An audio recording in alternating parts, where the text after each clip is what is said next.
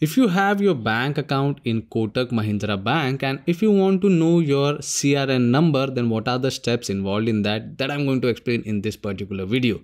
So if you're new to the channel, don't forget to subscribe. Let's start the video. So friends, I'm going to explain this process on my computer, but you can follow the same steps on your mobile phone as well. So first of all, you need to open any one particular web browser and then you can search for Kotak Net Banking on Google and once you open kotak net banking this is the uh, link netbanking.kotak.com you can open kotak net banking option over here. And on the next page it will uh, basically welcome us and it will give us the login option of net banking.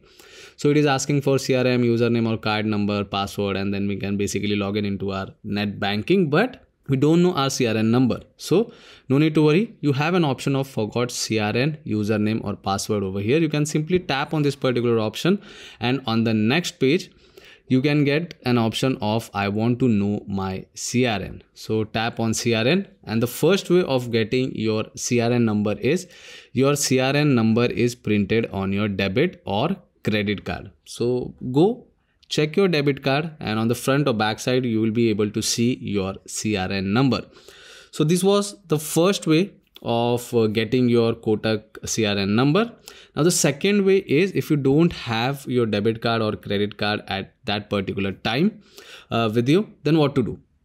So the second way you, uh, you can try basically the second way. Uh, so you can select try another option over here and the second way is you can simply SMS CRN to this particular number over here and make sure that you send the SMS from your registered mobile number and once you send this SMS uh, later on uh, you will receive your CRN number via text message.